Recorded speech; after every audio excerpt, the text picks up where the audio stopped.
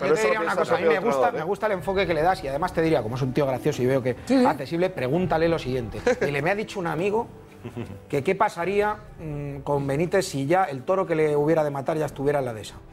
Ya estuviera en la Si dehesa. el toro ya estuviera en la dehesa. Si el toro estuviera en Londres, No habléis con jeroglíficos, no habléis, Ahí, ahí no no me- habléis con jeroglíficos. pues que... Que no pues me metas miedo. Pues que, que, no me sigas metiendo que miedo. no es una eh. cuestión de meter miedo. fantasma, la Que no me metas miedo. No, Hablar claro, por no favor. Yo no creo que es una cuestión de meter miedo, yo creo que es una cuestión de posibilidades y de probabilidades. No puede ser, no puede Estáis ser. hablando de, de la fecha tope de, de Rafa Benítez. Y yo creo en la información que ha dado Roberto y en la que has dado tú y en la que ha dado, muy cerca, y en la que ha dado estamos muy Miguel. Yo no voy a dar información, voy a dar una cuestión de sentido común.